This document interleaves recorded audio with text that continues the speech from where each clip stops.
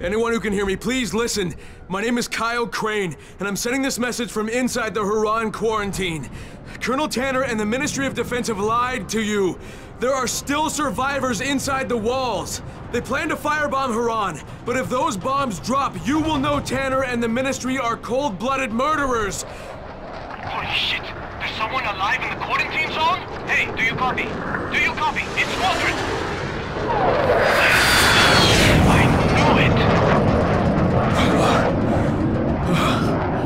That was too close.